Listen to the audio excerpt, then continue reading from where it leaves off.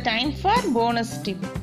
Going to practice cursive writing practice hand writing style should be standard and everyone should be able to to understand hand writing cursive writing practice பண்ணுறீங்கன்னா உங்களோட hand writing style வந்து ஸ்டாண்டர்டாக இருக்கணும் அதாவது வந்து எல்லாருனாலையுமே பார்த்த உடனேயே understand பண்ணிக்கிற மாதிரி இருக்கணும்